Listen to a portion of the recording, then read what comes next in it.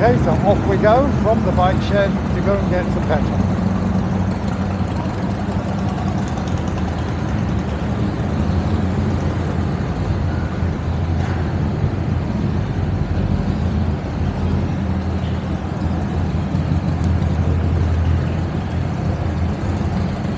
This is the cool part.